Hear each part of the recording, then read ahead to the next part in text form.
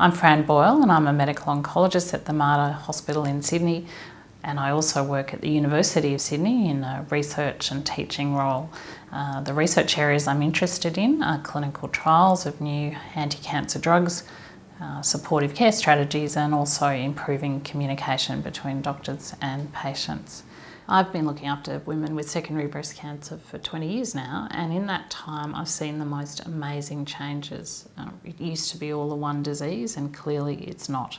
We treat people with HER2 positive disease completely differently to people with hormonal uh, breast cancer, and we develop drugs for different kinds of breast cancer, not just for people with metastases.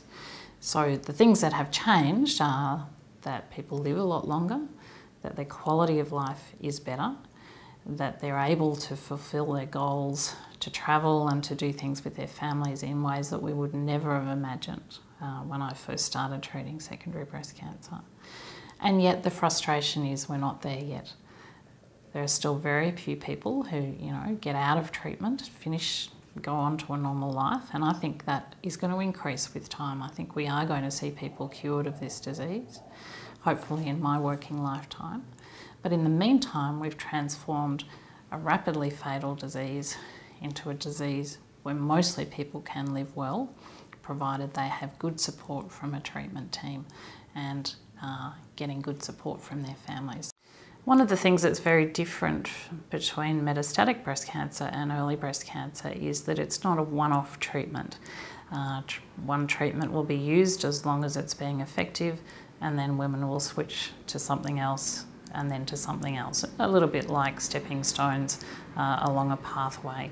And that challenge of thinking, am I going to be on continuous treatment, I think is something quite confronting uh, at the beginning.